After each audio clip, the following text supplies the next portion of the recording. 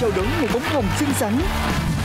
Bạn cười một cái là em quên hết tất cả. Anh muốn anh biết là sau này anh sẽ sáng tác những ca khúc mà liên quan đến tình cảm.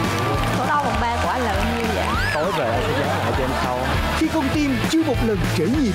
Em chưa từng trải qua mối tình nào cả. Vì em ngày hôm nay anh sẽ chinh chiến tới cùng gặp thử thách khiến cảm xúc rối bời. Đúng rồi đúng rồi đúng rồi. Ui ghê ghê.